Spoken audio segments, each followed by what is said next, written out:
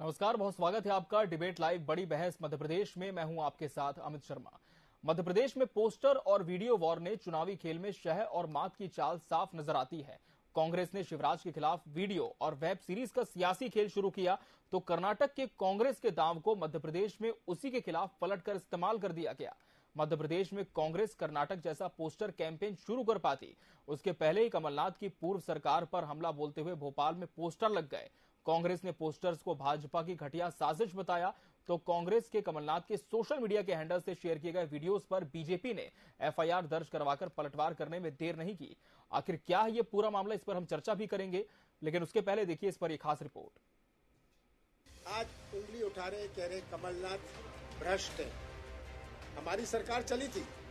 तीन साल से ये सरकार में है।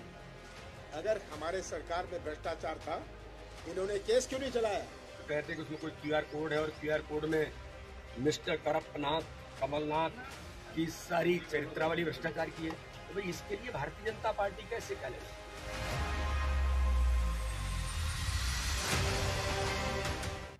राजधानी में कमलनाथ वांटेड के पोस्टर लगाए गए। पोस्टर पर क्यूआर कोड भी दिया गया। इस पर लिखा के स्कैम से बचने के लिए स्कैन करें। पोस्टर्स में पूर्व सीएम कमलनाथ को करप्शन नाथ लिखा गया। पंद्रह महीने की कमलनाथ सरकार का ज़िक्र कर घोटाले बताए गए हैं।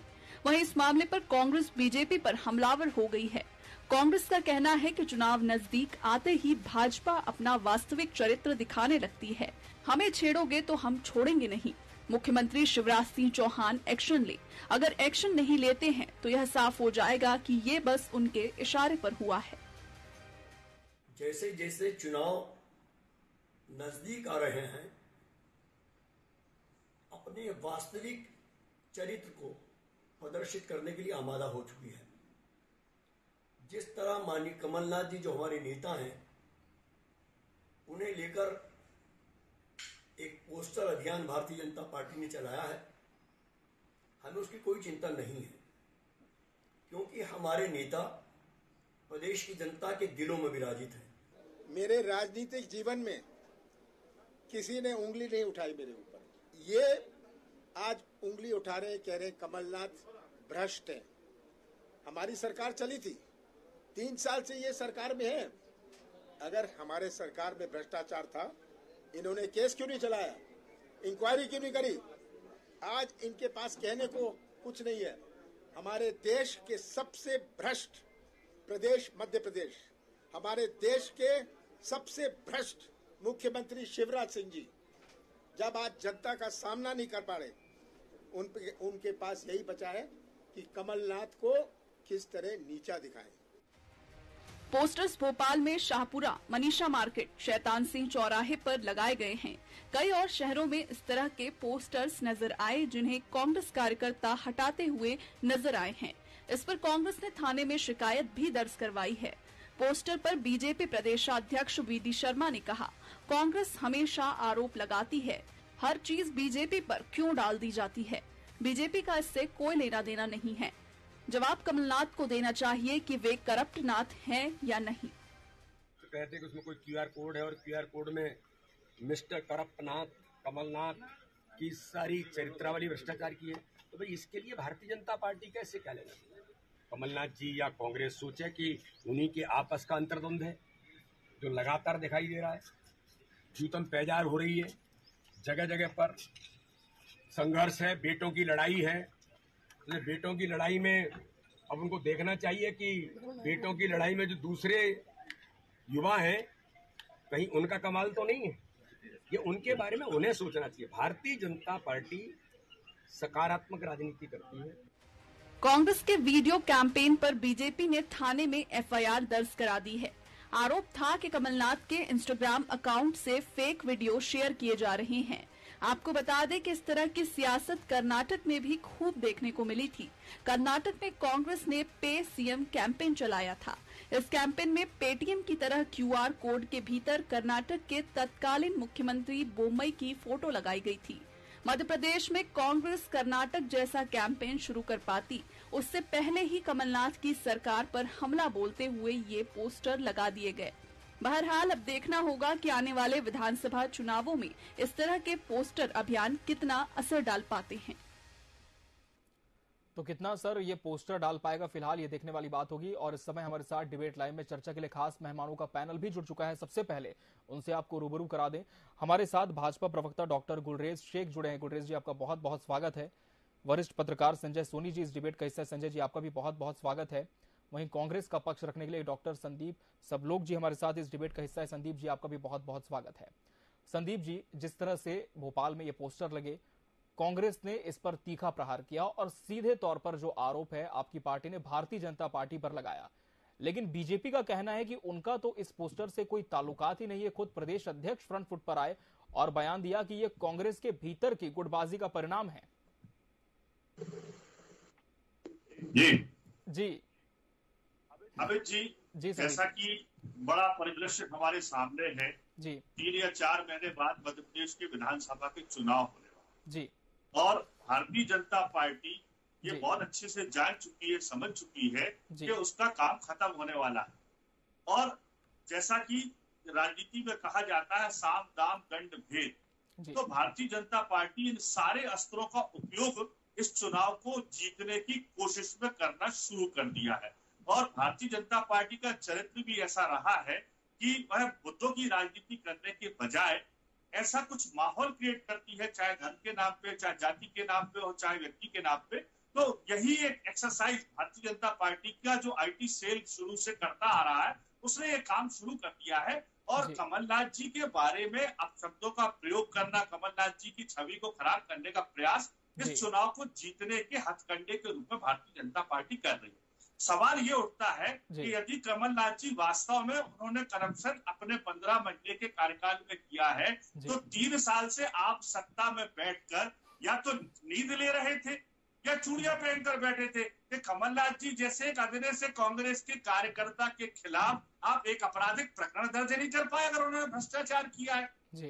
भ्रष्टाचार तो करने वाले आप लोग हैं और इस बात का प्रमाण सरकारी एजेंसी कैग ने भी दे दिया है आपने पोषण आहार घोटाला किया आपने स्कूली बच्चों के कपड़े छीन लिए ड्रेस घोटाला किया आपने महाकाल जैसी पवित्र स्थित नगरी को भी नहीं छोड़ा और सिंहस्थ घोटाले के बाद महाकाल लोक के निर्माण में जो भ्रष्टाचार किया है वो पूरी आठ करोड़ जनता के सामने आ चुका है जिसमें सप्त ऋषियों ने उस भ्रष्टाचार से तंग आकर अपनी सरजमी को छोड़ दिया। इससे ज़्यादा प्रमाण आपको क्या चाहिए? सिर्फ़ भारतीय जनता पार्टी जनता का ध्यान भटकाने के लिए जनता को गुमराह करने के लिए अनर्गल आरोप लगाती है। वह यह भूल जाती है कि इस मध्य प्रदेश के लाखों युवाओं के साथ आपने छल कपट करके व्यापम घोटाला किया और उनके मुँह से निवाला छीनने का काम किया। आप भूल जाते हैं कि आपने अपना ई टेंडर घोटाला किया।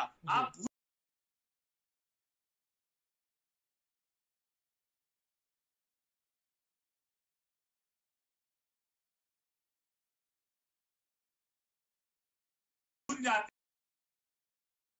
आपको कहते थे कि दो टाइगर हो गए।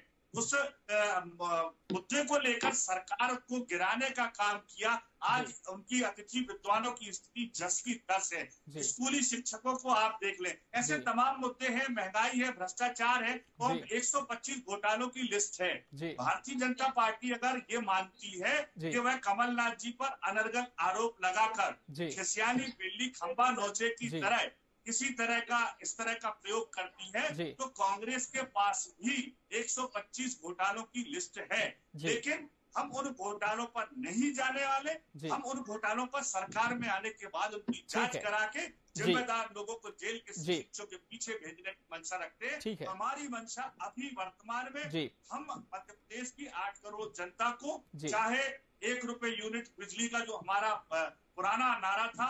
उसको हमने बदल के अब सौ यूनिट बिजली की बात लेकर आए हैं। पाँच सौ रुपए का गैस सिलेंडर की बात लेकर आए हैं। महिलाओं को सम्मान निधि के रूप में पंद्रह सौ रुपए की राशि देने की बात लेकर आए हैं। और किसान कर्ज माफ़ी का जो हमारा पुराना ठीक है ठीक है डॉक्टर संदीप जी जी मैं फिर आपका रुख करूँगा हम रुक कर लेंगे डॉक्टर गुलरेज शेख जी का डॉक्टर गुलरेज जी जिस तरह से आपने सुना कि संदीप जी ने साफ़ तौर पर कहा है कि ये जो पोस्टर कैंपेन है कमलनाथ के खिलाफ ये बीजेपी ने चलाया है वो इस बात को सीधे तौर पर नकार रहे हैं कि कांग्रेस के भीतर कोई गुटबाजी है, वहाँ से ये पहल हुई, बल्कि इल्ज़ाम आपकी पार्टी पर है।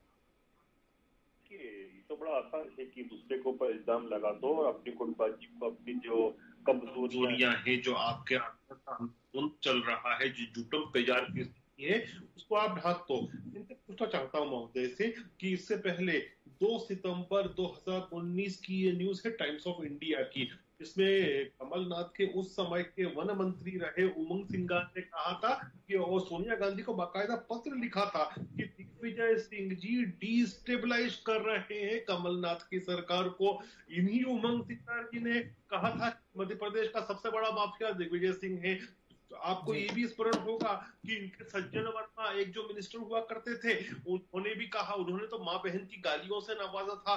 दिग्विजय सिंह जी को वो बाकायदा चीज़ें रिकॉर्ड हो गई थी। तो कांग्रेस की जो संस्कृति है ना एक दूसरे को नीचा दिखाने की एक दूसरे की राजनीतिक हत्या पीछे से छुरी मार के करने की ये रहती है। तो मुझे लगता है कि कहीं ना कहीं कमलनाथ जी को रिटोलना होगा। कि इनके गुटों में कांग्रेसी गुटों में कौन सा ऐसा है जो नहीं चाहता कि, कि कांग्रेस की कमान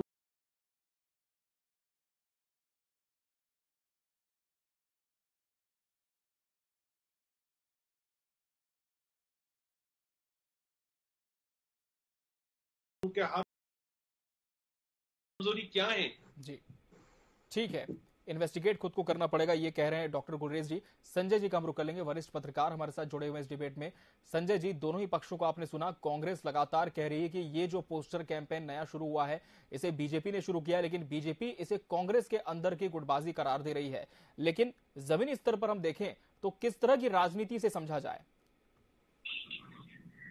देखिए ये ये जो पोस्टर वार है जी। अब चुनाव आ रहे हैं जी। तो चुनाव में ऐसे पोस्टर ऐसे प्रदेश भर में कहीं ना कहीं कभी इस पक्ष के कभी इस पक्ष के। लगते रहेंगे। और ये आरोप इसीलिए भी है कि कमलनाथ की एक तरह से देखा जाए तो 40 पैंतालीस साल की जो राजनीति का जो अनुभव है उनका और जो बड़ा प्रोफ़ाइल में उनने वर्क किया है तो आप जनरली मैं जो समझता हूँ मैं मेरा तो एक सपाट कहना है कि अभी कोई ऐसे आरोप उनके ऊपर ऐसा सिद्ध नहीं हो पा रहे हैं। इसी कारण ये कहीं ना कहीं अगर भाजपा कांग्रेस कह रही है तो हो भी सकता है कि भाजपा के इशारों पर किसी ने लगाए हों जिसमें उनकी छवि धूमिल हो और उसका लाभ भाजपा को मिले। जी। क्योंकि ये कहीं ना कहीं ये कहा जाएगा कि आखिर इन्होंने ऐसा किया था तब ये हुआ। जैसे हम्म। आपको याद होगा कुछ दिन पहले चौरासी के दंगे उजागर हुए जबकि वो सब चीज़ें पुरानी बात है घर में जा चुकी है अब उसका रेलिवेंसी खास तौर से भी मध्य प्रदेश में उतना नहीं है। लेकिन बीच में कमलनाथ जी का इंदौर में आपको याद होगा सिख समाज के कार्यक्रम दौरान एक तो नेता ने भाजपा प्रवेश भी कर लिया। जी जी। फिर उसके बाद उनका चौरासी का दंगा निकाला गया तो वो भी एकदम माहौल बना उसका। तो ये जानबूझ के एक डेंट मारने की कोशिश है कि किसी तरह से भी पोलराइज करके कुछ भाजपा अपना फ़ायदा उठा सके। लेकिन वही कांग्रेस भी कहीं ना कहीं पीछे नहीं है। अब अब मुझे लगता है कि जैसे आज प्रदर्शन एफआईआर की बात हुई है तो अब हो सकता है कि अब कांग्रेस वाले शिवराज या भाजपा के खिलाफ कोई पोस्टर लगा दें शहर में जिससे उनकी छवि धूमिल हो। तो मेरा ये मानना है कि कहीं ना कहीं अब ये चुनावी वर्ष है तो चुनावी वर्ष में इस तरह की बातें होती रहेंगी। मगर मेरा ये मानना है स्वस्थ राजनीति होनी चाहिए और स्वस्थ राजनीति के साथ जो डेवलपमेंट की बात है जो।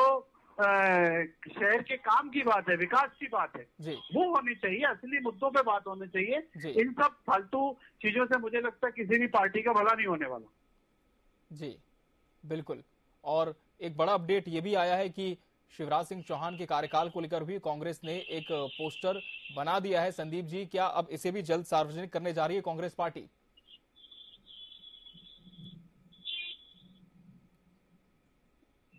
जी संदीप जी आपकी आवाज़ नहीं मिल पा रही है। जी।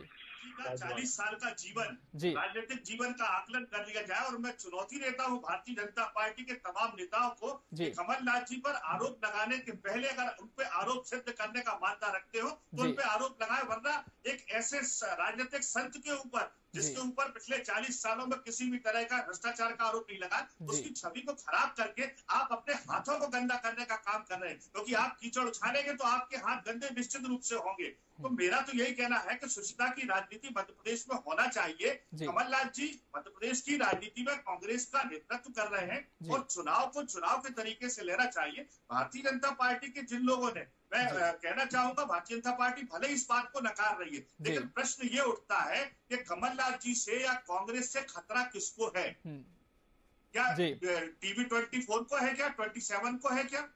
क्या संजय सोनी जी को खतरा है? क्या डॉक्टर गुलरेज जी को खतरा है? नहीं तीनों को खतरा नहीं है। खतरा भारतीय जनता पार्टी को है और भारतीय जनता पार्टी की सरकार के मुखिया शिवराज सिंह चौहान को है। और जिससे खतरा होता है हमले उस पर किए जाते हैं। तो निश्चित रूप से मैं दावे से कह सकता हूँ कि कमलनाथ जी की छवि को लेकर जो भी दुष्प्रचार किया जा रहा है उसमें भारतीय जनता पार्टी का हाथ है। वे इस बात को स्वीकार करें अथवा न करें लेकिन प्रदेश की जनता ये सब देख रही है। एक ऐसे राजनीतिक संत के ऊपर अब शब्दों का प्रयोग गलत आरोप लगाए जा रहे हैं ये बहुत गलत है।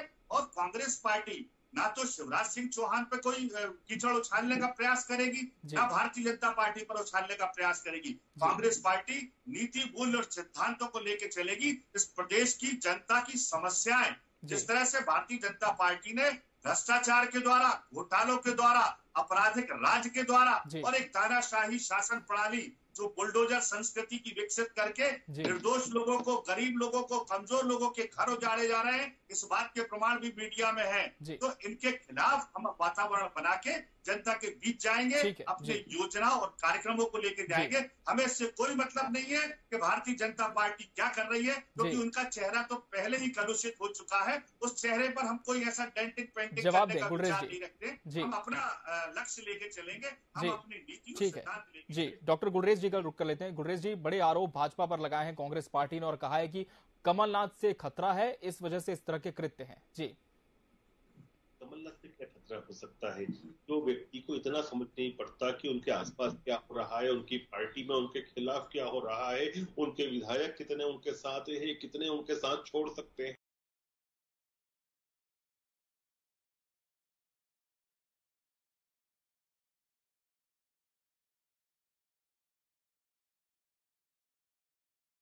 और अपने तिहाई आएगी, उससे ज़्यादा इनको नहीं आएगी। मैं ग्राउंड की स्थिति को बता रहा हूँ। लेकिन यदि आप इस तरह से बात कर रहे हो ना जो कांग्रेस की बात कर रहे हैं, ये एक शत्रुमुर्ग की तरह बात कर रहे हैं। जो शत्रुमुर्ग होता है ना, जिसको दुश्मन दिखता है तो वो अपनी गर्दन को रेत में झाक लेता है। तो दुश्मन अंदर है और ये रेत में इधर मुंडी छुपा रहे हैं और बीजेपी के ऊपर आक्षेप लगा रहे थे कि आप समझिए खुद ही आप साइकोलॉजिकली समझिए कि ह्यूमन साइकोलॉजी के हिसाब से ये करने से बीजेपी को फ़ायदा नहीं मिलता है। तो बीजेपी क्यों करेगी? इसका करने वाला कोई ना कोई व्यक्ति अंदर का व्यक्ति है। वो भोपाल का जो एक कॉकस है कांग्रेस पार्टी का डॉक्टर संदीप सब लोग अच्छी तरह समझ रहे हैं जो कह रहा हूँ। ये नाम भी समझ रहे हैं। वो एक कॉकस है भोपाल में कांग्रेस पार्टी का वो कमलनाथ को निपटाना चाह रहा है और अपने बेटे को स्थापित करना जवाब दे संदीप जी तो थोड़ा की वजह से साफ़ समझ में आता है। जी जवाब दे संदीप जी। बहुत क्लियर बात तो मुझे ऑडियो में कुछ गड़बड़ी के कारण गुलरेज जी की नहीं सुनाई दी है। लेकिन मैं उनकी चेहरे को पढ़ के चूँकि एक शिक्षक हूँ उनके चेहरे को पढ़ के समझ पा रहा हूँ कि वो कहना चाह रहे हैं? किस तरह की भावना अपनी रखना चाह रहे हैं? मैं तो सीधी सीधी बात ये कहना चाहता हूँ कि जो आरोप भारतीय जनता पार्टी के नेता या मेरे मित्र गुलरेज शेख कांग्रेस पार्टी के नेताओं पर लगा रहे हैं। अपने अपने अंदर खाने में जाकर देखें तो उनके मंत्रियों के पीछे मलाई खाने को लेकर किस तरह का सिर फटफल बचा हुआ है। आप ग्वालियर भिंड मुरैना क्षेत्र में देखें नरेंद्र सिंह तोमर वी डी शर्मा अपना नरोत्तम मिश्रा और महाराज जी जरा भाई साहब वो बन गए भारतीय जनता पार्टी में जाके मुझे नाम याद नहीं आ रहा है। वो भाई साहब इन चारों के बीच में क्या धमा चौकड़ी मची है? आप मालवा में चले जाइए वहाँ भारतीय जनता पार्टी के बीच में क्या महाकौशल में क्या चल रहा है? कहीं बप्पू आके खड़े हो जाते हैं कभी अशोक अपना क्या नाम उनका विधायक जी उनके वो खड़े हो जाते तो इनके बीच में जो चल रहा है, इसको छुपाने के लिए कांग्रेस में जबरन में इस तरह के आरोप लगाते हैं। आप देखिए मध्य प्रदेश में माननीय कमलनाथ जी के नेतृत्व में कांग्रेस की सरकार बनाने के लिए हम्म। दिग्विजय सिंह जी पूरे मध्य प्रदेश में घूम रहे हैं। माननीय सुरेश पचौरी जी पूरी रणनीति का नियंत्रण करते हुए कांग्रेस की गतिविधियों को संचालित करने में कमलनाथ जी की मदद कर रहे हैं। माननीय अरुण यादव जी बुंदेलखंड क्षेत्र का आधे से ज़्यादा दौरा कर चुके हैं। वो मध्य प्रदेश के विभिन्न जिलों में जाकर पिछड़े वर्गों में कमज़ोर वर्गों में कांग्रेस के संदेश को लेकर जा रहे हैं। हम्म। तो कांग्रेस पार्टी में कहीं कोई इस बात को लेके अंदर ऐसी कोई बात नहीं है कि कांग्रेस से इस तरह का कोई शिगुफा छोड़ा गया हो। चलिए रुक कर लेंगे हम वरिष्ठ पत्रकार संजय सोनी जी का संजय जी जिस तरह से अब ये पोस्टर वॉर शुरू हो चुका है पहले एक पोस्टर जारी किया गया अब कांग्रेस दूसरा पोस्टर जारी करने की तैयारी में है बीजेपी के खिलाफ। लेकिन क्या ये लगता है कि ये जो पोस्टर वॉर है इसका कोई भी असर जनता पर हो सकता है? आप मुझसे पूछ रहे हैं? जी संजय जी जी जी आप ही से सवाल है। नहीं मेरा ये मानना है जी। कि चुनावी वर्ष में जो सरकार ने किए उसके पोस्टर लगने चाहिए। जी। जो डेढ़ साल के कांग्रेस ने किए उसके पोस्टर लगने चाहिए। इससे जनता को सही रास्ता दिखे कि किसने हमारे लिए काम किया किसने नहीं किया। और जब वो वोट डालने जाए तो उसका लाभ जिस पार्टी को भी मिले। लेकिन ये सच्चाई की बात होनी चाहिए। इस तरह के अनर्गल पोस्टर या शिवराज जी के खिलाफ लग जाए या कमलनाथ जी के खिलाफ लग जाए किसी के भी खिलाफ लग जाए ये मैं सोचता हूँ स्वस्थ राजनीति नहीं है। और इसका आज मध्य प्रदेश की जो गंगा जमने तहजीब है जो आज भी देखते हैं अपन की राजनीतिक दलों में एक बीच में कहीं ना कहीं एक एक ऐसी लाइन है जो। हाथ ब्रेकी कि भले ही वो किसी पार्टी में बयानबाजी चलती रहती है मगर कहीं किसी के साथ गलत करने की किसी की मंशा नहीं होती। तो मेरा मानना है कि पोस्टर शहर में अब प्रदेश भर में ऐसे लगने चाहिए कि हमने ये काम किए और इनकी सरकार थी इनने ये वो अपनी वो अपनी पक्ष रखे। तो ये ज़्यादा वैल्यूबल होगा ना कि किसी के अनर्गल आरोप प्रत्यारोप लगाए गलत तरह से पोस्टर लगाए जिससे माहौल खराब हो। हम्म। मेरा ये मानना है। जी। क्या? बिल्कुल। डॉक्टर संदीप जी जिस तरह से वरिष्ठ पत्रकार संजय सोनी जी कह रहे हैं कि हमें जमीनी मुद्दों पर ज़्यादा काम करना हो ये बेहतर होगा। बतौर इसके कि हम वार पलटवार में ही फंसे रहे। लेकिन अब चूँकि ये पोस्टर जारी हुए थे इसके बाद कांग्रेस ने शिकायत भी की है तो अगला कदम पार्टी का क्या होगा? देखिए कांग्रेस पार्टी ये जितनी भी पोस्टर वार करे कुछ भी करे हम संवैधानिक दायरे में रह के न्यायपालिका के पास और कानून के पास जाएँगे। रही बात हम अपनी बचाव की तो हमारे पास पंद्रह महीने का स्वर्णिम कार्यकाल है। अगर भारतीय जनता पार्टी को उसमें एक भी भ्रष्टाचार लगता है तो अभी भी मैं दावे से कहता हूँ उनको चुनौती देता हूँ कि कांग्रेस पार्टी और कमलनाथ के खिलाफ मामला दर्ज करके कांग्रेस जनों को जेल के पीछे भेजने का ताकत दिखाइए साहस दिखाइए। वरना इस तरह के झूठे आरोप लगाना बंद कीजिए। कांग्रेस पार्टी जय किसान जो योजना थी किसानों की कर्ज माफ़ी की लाडली लक्ष्मी लाडली बहना योजना की जो फर्जीवाड़ा इनने किया उसके जवाब में जो हम नारी सम्मान योजना लेके आए पाँच सौ रुपए में गैस सिलेंडर की बात को लेके आए हम ऐसे तमाम मुद्दों को लेके सौ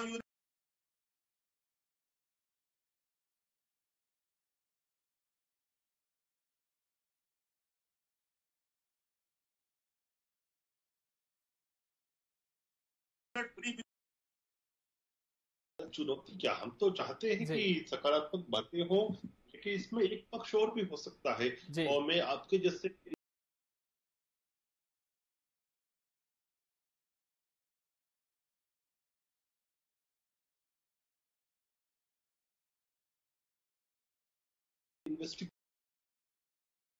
ग्राफ गिर रहा है और दिग्विजय सिंह जी का ग्राफ ज़्यादा उठ रहा है पार्टी में। तो ये भी संभावना है कि अपने आप को प्रासंगिक बनाने के लिए कमलनाथ जी ने ही लगवा दिया हो। ये भी पॉइंट ऑफ़ इन्वेस्टिगेशन होना चाहिए।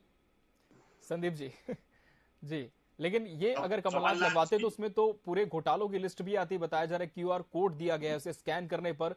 पूरी जो लिस्ट है वो खुल जाती है। जी।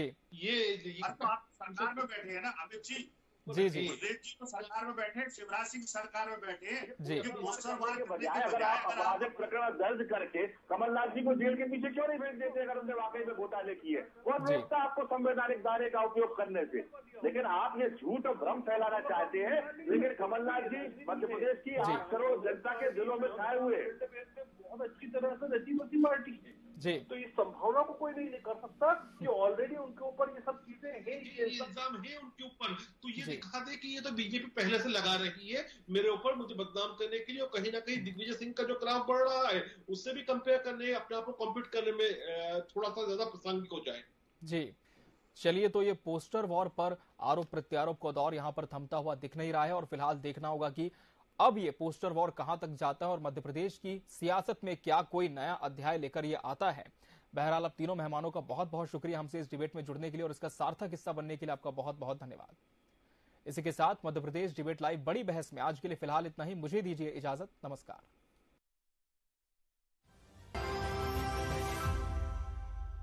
राजनीति खेल है। शहर और और राजनीति के खेल कौन है राजा, कौन है प्यादा? कहाँ टूटी है संयम की मर्यादा? जनता में कौन